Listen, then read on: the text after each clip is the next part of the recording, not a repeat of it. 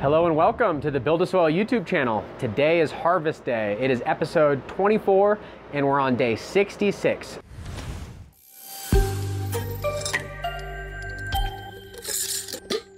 We're in the 10th week right now, but we won't finish it because it's time to harvest. In the last episode, I discussed the trichomes, where we're at, how we could have gone maybe a little longer and some went a little too long, which means we're at a pretty good target to do a full room harvest. You can be as attention to detail here as you want. You can take every part of the plant, look at all the trichomes and pull them at that uh, according rate, but I like to have a variety. And for me, when I harvest, at least when they're mature, um, everything's good. As a new grower, a lot of times you'll hear eight weeks and you'll see if maybe you can pull it like six or seven, or someone will tell you they have a really fast finisher. While there are a lot of fast finishers out there, most of the time I go at least nine weeks. And it's turned out that going almost 10 on the Northern Lights was a little too long, but I think it's gonna be really potent. Also, the uh, Coots, the Pakalolo, the one, those look really finished. So I'm, I'm excited. There's one that could have gone longer, but looking at the trichomes on some of the finished ones, there's a lot of amber. And I'm, I'm happy with that. As mentioned, as you start to grow something more than once, you'll learn where your favorite window of harvesting is based on your own interpretation, based on trying it multiple different ways. And we always encourage you to do that. That way you become independent as we go through today's harvest day. So I just want to focus on a few things. I've got the room next door set up, which we'll show you in a second. It's going to be a little above 60 degrees at the peak of the day because the air conditioner can only keep up so much. Its bottom setting is 62 degrees. If I keep it on high and just run it, regardless of temperature, it should be able to bring it down in that 60 degree range. But during the peak heat of the day, it's 90 degrees out, it's probably gonna be in the 67 to 68 degree range, maybe a little bit cooler, we'll see. But to me, that's totally acceptable. I get a lot of questions from all of you asking, hey, I'm about to harvest, I've watched your video, I'm at 65 degrees, is that okay? Or I'm at 72 degrees, is that okay? Yes, it's all okay. When you get above, say 80, 90 degrees, I'd be very concerned with the quality level. And our goal is to keep it closer to 60 degrees. But that's the target. There's been herb growing in worse conditions for a long time. You have to focus on the weakest link.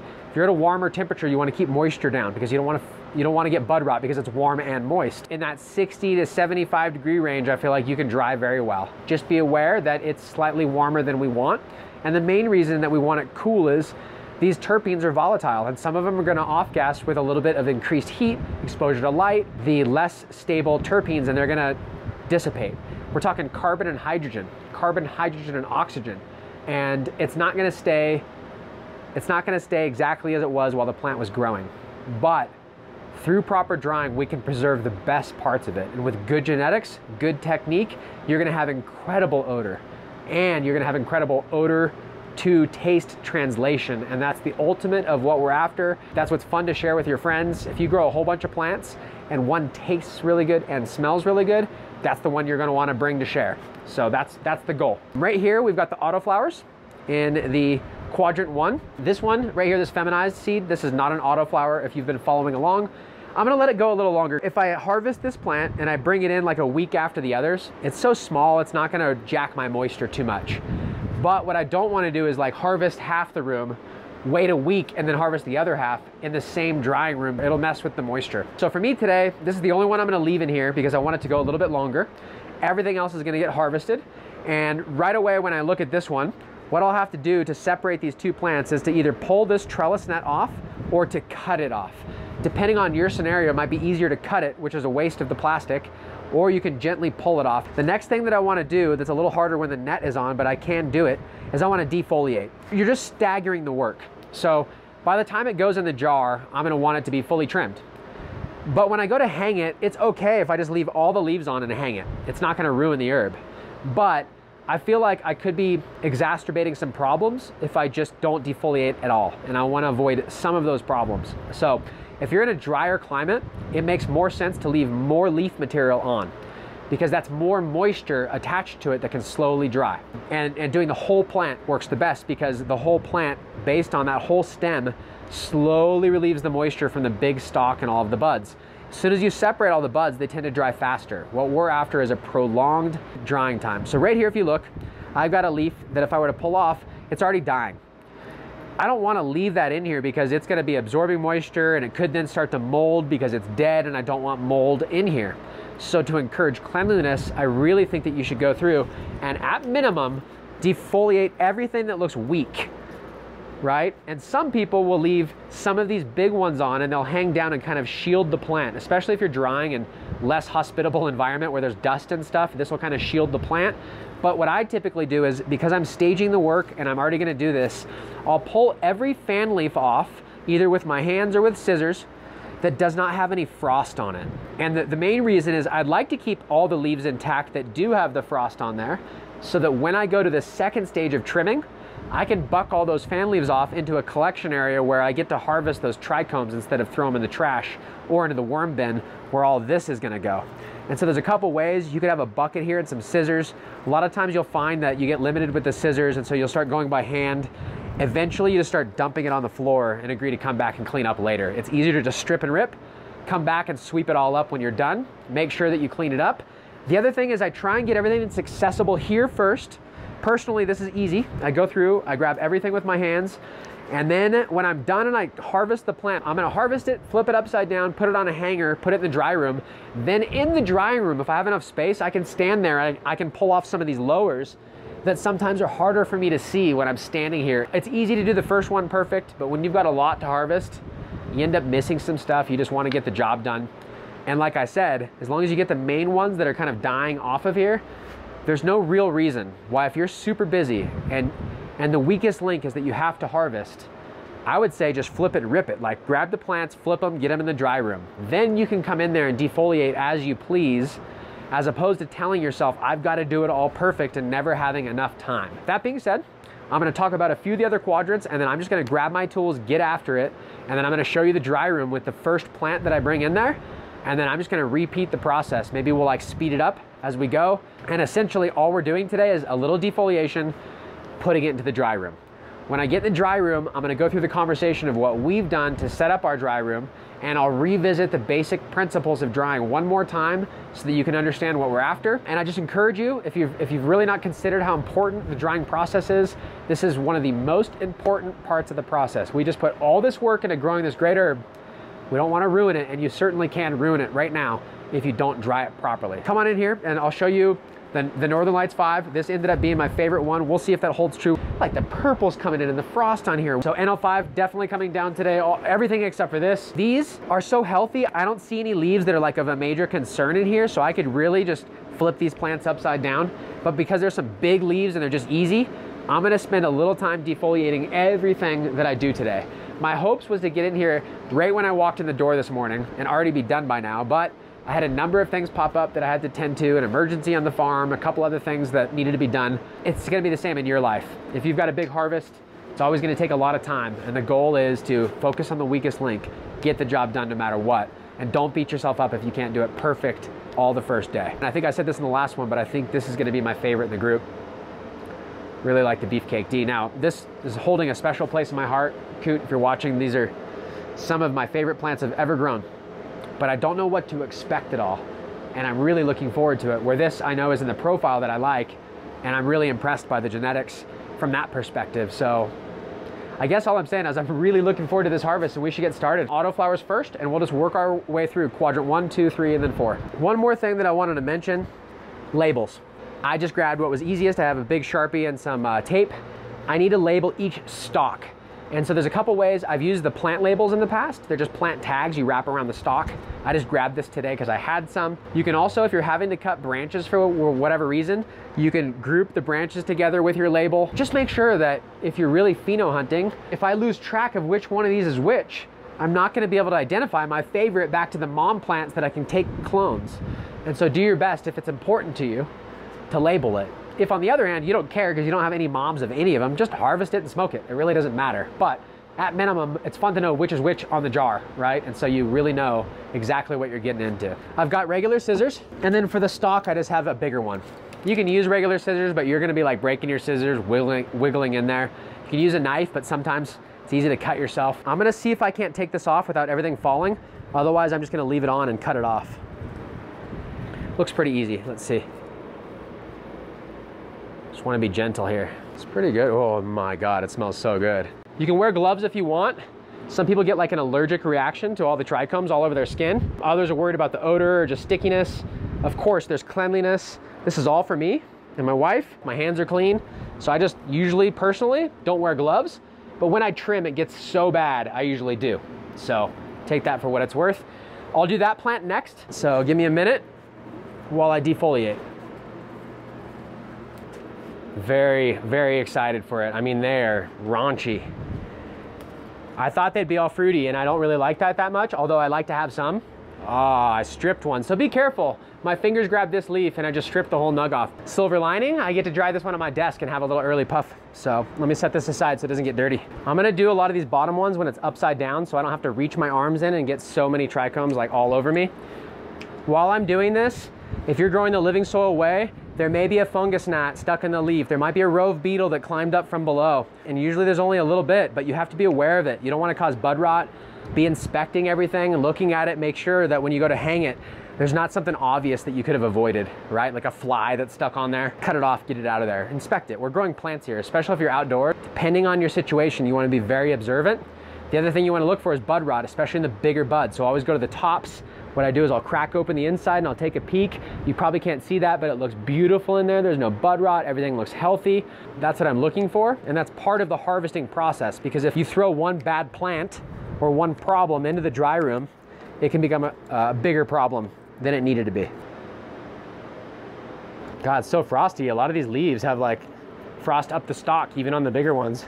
So I'm gonna flip it and we'll talk in the grow room while I strip some more leaves off.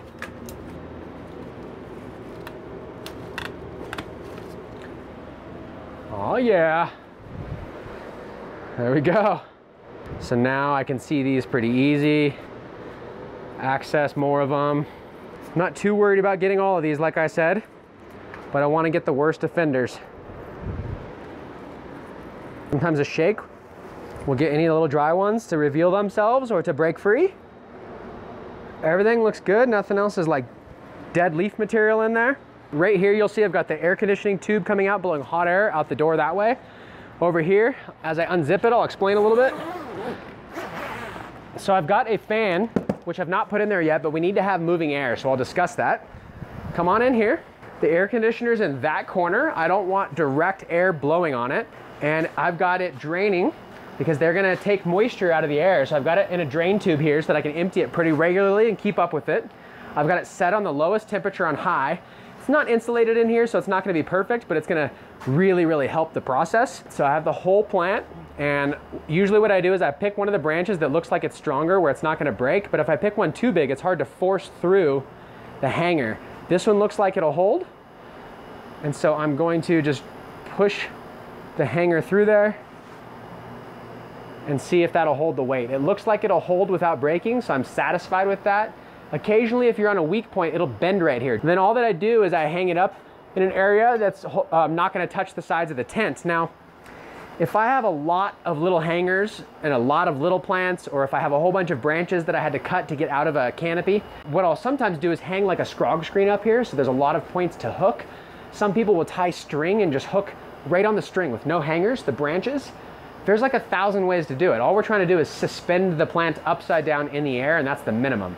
For me, this is easy. I usually have some hangers around. I put it on there, I can grab it, I can take one plant down at a time to the trim area and know that that entire group of trimming is that one plant so that I can label accordingly. So that's the way I do it. Although it's the right humidity in here right now and the air conditioner should take moisture out of the air, when I fill it with all the plants and zip it up, it might get too humid in here. And if that's the case, I'm gonna have to open a vent or do something about it to keep it in my ideal 60% humidity maximum range. Next thing that's gonna happen is it might not be humid enough in here with the air conditioner running or because it's a pretty big tent, it may not raise the humidity up above 60 or 260. If that's the case, I'm gonna add a humidifier. I've got one ready. I just really wanna make sure it's totally scrubbed clean, RO water, and I'm gonna put it in the corner away from direct contact with the plants. I showed you the fan when I, when I walked in here. It's a mountable one, so I'm not sure where I'm gonna put it. The most important thing is we want indirect air movement to have constant air moving. That's gonna pull the moisture off of the plant as it's drying so it doesn't turn into bud rot while the moisture that seeps out sits right there on the plant material. So air moving, indirect, 60% humidity, 60 degrees. And remember, if you can't get there perfectly, know where the weak link is. Better to be under 60 than over 60. And if you can't get quite as cold, don't worry about it too much. And like I mentioned, if it's warmer, maybe a little bit lower on humidity, maybe 55%.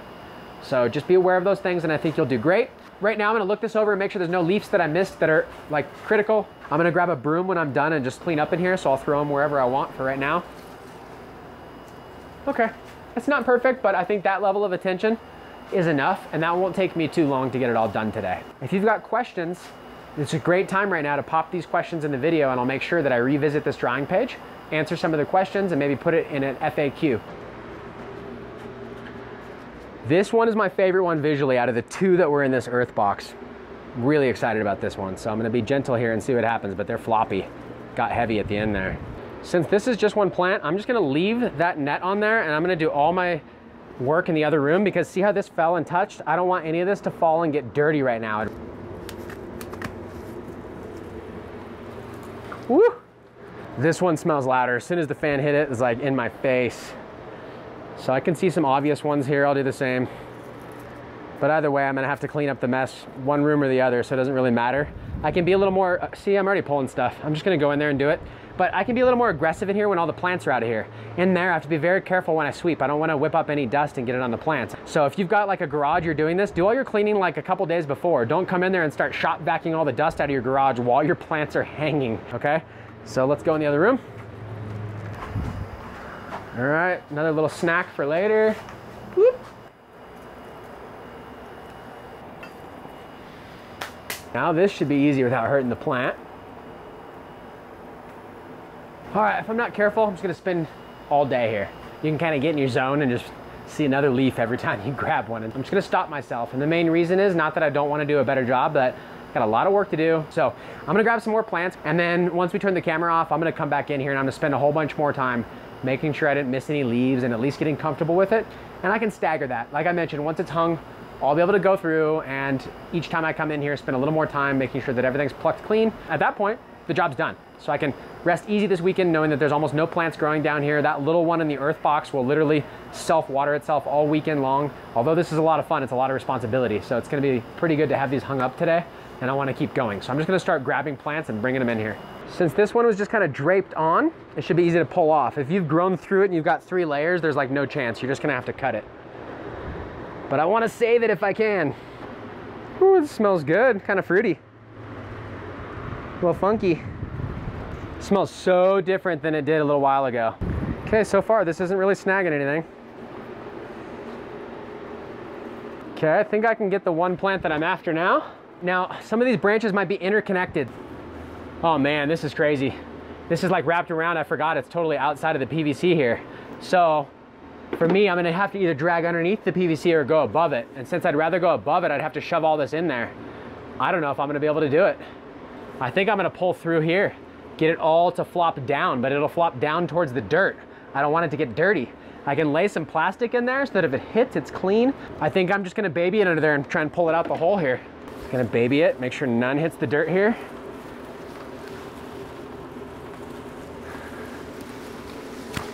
Woohoo! Okay, now I had a couple branches bail out here. They're barely touching. I don't want to move them because I don't want them to move around in the dirt. One might be touching, the rest are kind of hovering. So I'm gonna get right after that one next.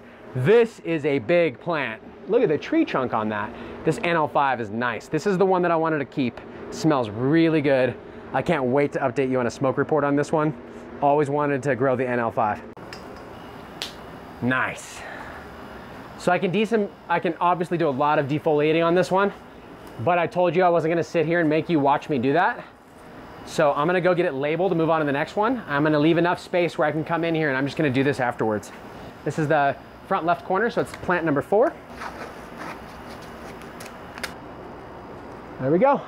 NL5 number four, all right. So this one was kind of hidden in the back, but it's beautiful. Has some nice tops. I'm gonna get it next because I don't want anything hanging in the dirt. Get the net off there. This one kind of got dominated by the others, but it still had some nice buds on it. NL5, number one. This little tiny one, like I just want to see if it ever became anything. Look at it, it became absolutely nothing. This whole plant got completely cannibalized. That's as big as it got here. It's like underdeveloped. Look at how, like, see how this is like not even any color? all completely lowers. That should have been stripped, but I didn't strip this one because I was just really hoping it would come up to the top of the screen. I'll just grab this one. I'm not even gonna label it. That can happen when you put a whole bunch of seeds in one bed. Sometimes the, the certain ones dominate. Now here's what I would say. If this has some odors that you're really into or is really tasty for some reason, you can give it another run. Sometimes it just got cannibalized by the more dominant early veg genetics. It might still be worth pursuing. For me, since nothing's really standing out, I've got others that I like better. I'm not gonna worry about it. This one I'll remember because I want to label and this is the number two. This one also got kind of cannibalized by the ones that were around it. Okay, got it. You can put three or four plants on one hanger depending on how tight your space is. To keep them separate for labeling, I don't usually do that, but is this the last one? Wow, this is great. This is all one plant. That's a big plant. So since this is all on there and it's just one plant, I don't need to worry about carefully removing the net. It's easier when it's upside down for me. Last thing I wanna do is like really pull on the nugs and strip them or ruin any trikes. So I'm gonna see if these are in here and just go for it. This has some side branches, but the most space is this way going straight up towards the light. So I'm probably just gonna do that.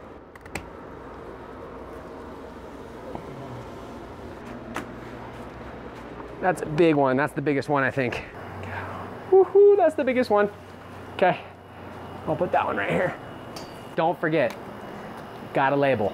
That is the number six. Now, if you're ever stopping through, a lot of times we'll have the moms. And if we don't need, cut, need cuts right away, we're happy to just share a cut with you. Just give it away. We always try and share it. All right, let's get another one. Back to the beginning, only a little bit, a bit of cover crop survived and we'll talk about reamending in another episode. We've done it before. Let's move on to the next bed and start pulling plants down. I've got the loppers right here. I think I'm just gonna start with these first ones and I'll know what they are and label them accordingly. And I'll start with this first one right here up front. So this is the number seven, the smallest out of all of them. And what I think Coot said the most reminiscent of the one. Look at that, that's pretty nice. Smells good. Coot had a pretty good description for this. He's like rosewood and overripe mangoes and like a lot of those odors are, are in there. The PO number seven, the Pakalolo one. All you're gonna watch me do is literally cut down these plants and bring them into the other room. And I know there's a lot of you that would probably watch that and wanna hear me talk about all the different genetics, but I'm gonna do a better job. I'm just gonna harvest this, we'll turn the camera off, I'll put them in the dry room. I'll start to show you them and record snippets as they dry over the next two weeks to get to that target where we're gonna be trimming it and putting it in jars. But then I will tell you what I think about all of them after I go through and smoke them all. I'll show you more flower shots. I'll update you the best of my ability to show you what we're able to pull out of here. But I'm impressed. Um, I'm happy. I'm stoked with all of the breeders, all of the different genetics that we ran this time. I'm very, very happy with. Despite the couple of issues, a lot of times that's the grower learning how to, to run them. I'm not perfect, like always, like, subscribe, tell your friends, ask your questions in the comments. You can duplicate what we're doing and even surpass us at this. I think that every one of you is capable of it. The most important thing is to follow the environmental protocol, get really good genetics, use good inputs, and make it a simple solution so that you can stay disciplined to it. And if you follow that, the Build a Soil way, you should have bountiful harvests that you can share with your friends, and they should be of the best quality. That's what we're after. I'm gonna wrap it up today. As usual, I've got more work to do. We're gonna be following through on the next video, trim and talk more about it. And then I'll do like a smoke report where I really do a deep dive on what I thought. That's all coming down the pipe. In between there, we're probably gonna have time to do some more FAQs. So if you've got questions, like usual, put them in the comments here. Tell your friends about it, subscribe. If you have somebody that needs to learn, send them a video, whatever it does. Let's just keep this whole thing going. We appreciate you guys. And until then, I'll see you on the next Build a Soil episode.